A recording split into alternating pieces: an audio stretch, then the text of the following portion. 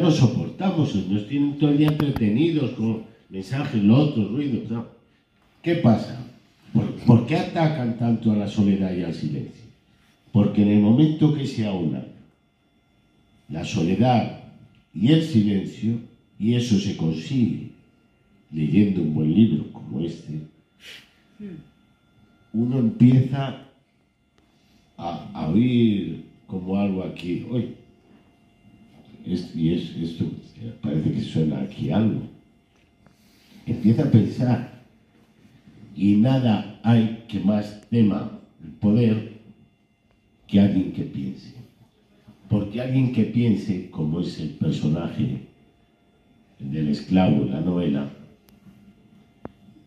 nunca se someterá.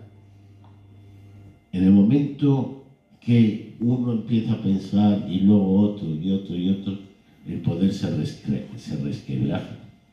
Es así. No soy nada utópico, lo creo así y creo que esta sociedad está toda encaminada a, em- a evitar, a impedirnos pensar. Es el inicio del capítulo 7 que se titula La Madre y dice, ¿acaso no importen todas las diferencias ni lo mucho que en ellas nos hayamos afanado? Pues todas ellas se disuelven en idéntico final.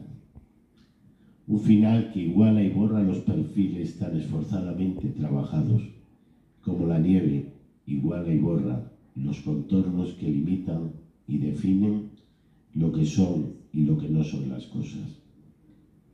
O quizás sea esta imposibilidad de eludir un final que no admite distinciones, que es uno y exactamente repetido para todos, lo que alimenta el hambre por lograr algo, por pequeño que sea, una palabra, un pez, una piedra sobre otra, una flecha, el recuerdo de un río, aquella alegría inesperada, un andar inconfundible, una espina, un apretón de manos, el miedo que me paralizó y al que me enfrenté, la medalla de una cicatriz, el pañuelo de un llanto, cualquier cosa, por pequeña que sea.